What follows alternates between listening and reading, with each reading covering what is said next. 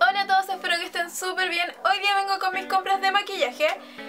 Eh, bueno, ya se tienen que haber dado cuenta por el título de este video y la verdad es que estoy grabando esto porque es algo que me hace un poco más fácil y más rápido de grabar. Eh, lamento como llenar tanto el canal de compras, pero en verdad me es un poco más difícil grabar algún tutorial y eso por la falta de tiempo. Pero nada, que aquí estoy tratando de actualizar igual el canal además que me compré bastantes cosas este mes, no sé si tantas, pero igual son eh, para mí una cantidad considerable porque yo no me compro tanto maquillaje en verdad, yo me compro así como algo lo necesario.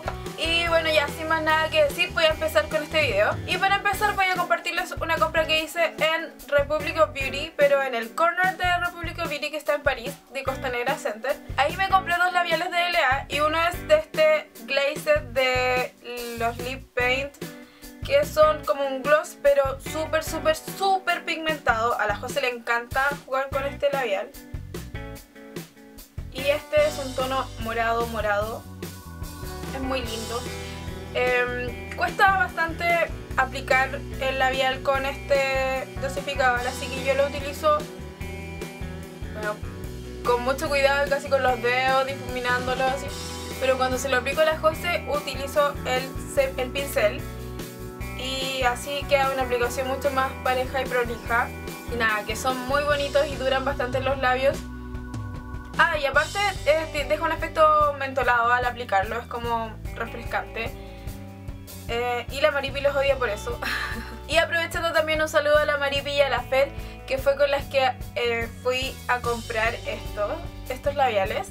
Así que besitos para ellas. Bueno, y el otro es uno de los mates, de la colección de los mates que llegaron hace poco y se agotaron así, pero al tiro. Y estos cuestan 7000 y este cuesta 3990 creo. Y es ultra, ultra mate. Si se seca los labios y no se sale jamás. Este es el tono Playful.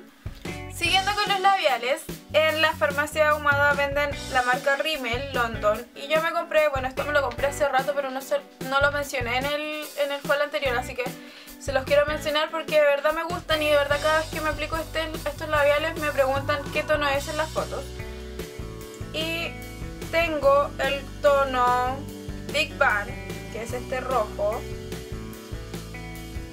y el otro es el Stellar.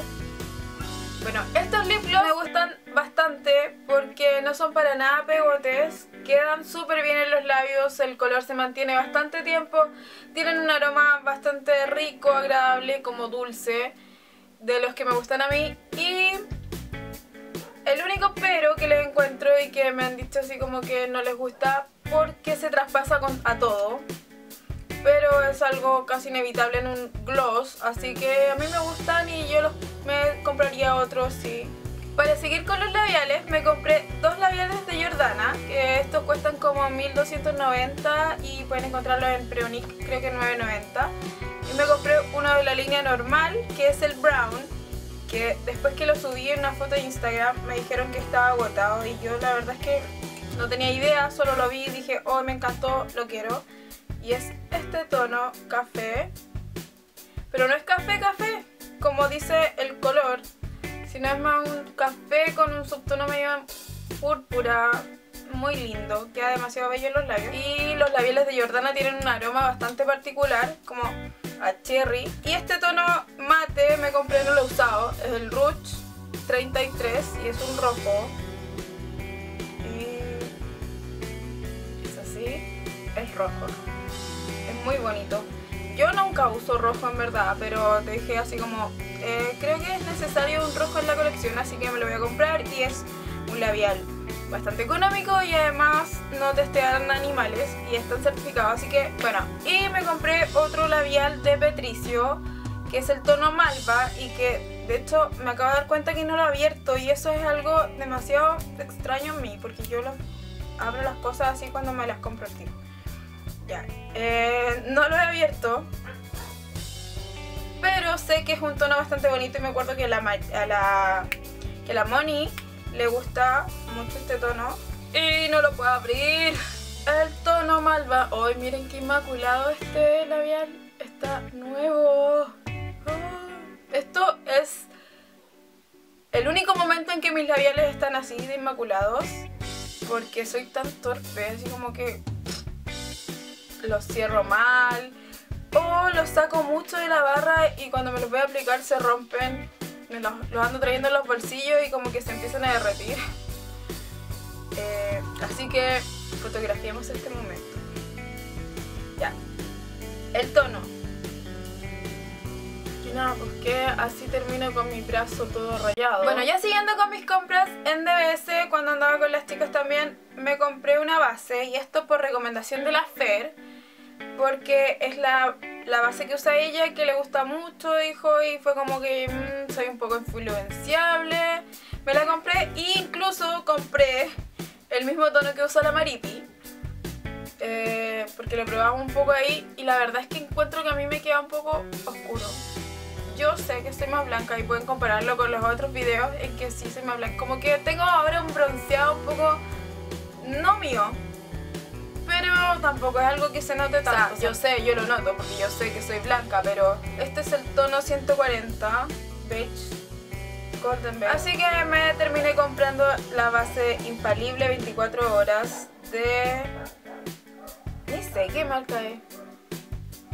L'Oreal. Eh, me gusta mucho, me gusta mucho la fijación que tiene, sí me dura bastante, no sé si me dure hasta el, a lo largo del día, yo a lo largo cuando termino mi día laboral, igual siento que mis ojeras están así como en todo su esplendor y que sí me, estoy así como tan bronceada como ahora recién que me maquillé. Eh, pero sí tiene una bastante buena duración. Eh, lo que más me gusta es cómo se siente en la piel porque no se nota cuando la aplico. Entonces ya ahora como yo sé que tengo un tono más de mi color natural, pero las demás personas no saben porque se nota como que no tuviera tanto maquillaje y me gusta, por eso me agrada, eh, que se sienta súper bien y que corre con bastante facilidad al aplicarla. Eh, Sí, yo la recomendaría, pero como testé en animales, eh, que va afuera, no la volveré a revelar. De ELF tengo estas dos cosas para mostrarles, porque el labial que me compré no sé dónde está.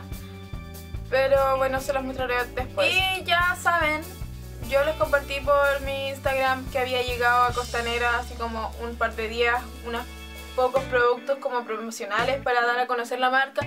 Pero la marca está establecida en las tiendas Makeup y yo ahí me compré este waterproof eyeliner.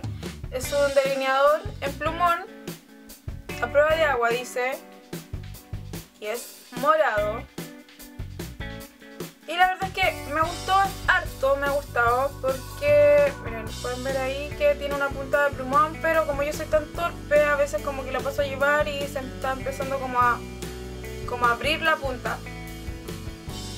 Pero no sé, creo que yo soy la única descuidada con todas las cosas en el mundo. Pero yo sé que ustedes son más cuidadosos con su maquillaje que yo, así que de verdad es algo... Sí, encuentro que vale la pena, me gustó mucho el color. No sé qué tonos más tenía, no me acuerdo. Pero eh, de verdad usar un tono morado así como que la lleva, no sé, me encantó, lo he usado harto y, y la línea está intacta al final del día. Así que de verdad me gustó y creo que costaba 1990 o 2990. No más. Bueno, y lo otro que tengo es este tubo que trae un eye primer y un liner sealer. Eh, primer para sombras, que viene así, una barrita. Que la verdad es que no me ha gustado mucho, si se me, se me cuartea un poco la sombra en el párpado. Mm, no sé, no lo recomiendo porque de verdad eso me carga, me carga que se cuente la sombra ahí en el párpado, entonces prefiero gastar un poco más en un producto de mejor calidad. Ahí estamos probándolo igual, estoy probándolo todavía. Voy a darle más oportunidades.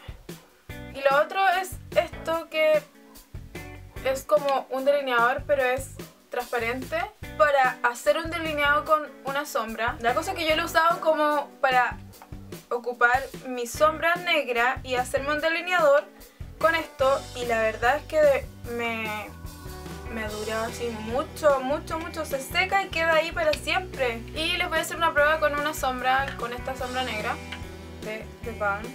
Hay que sacarle todo el exceso del líquido, eso sí, porque...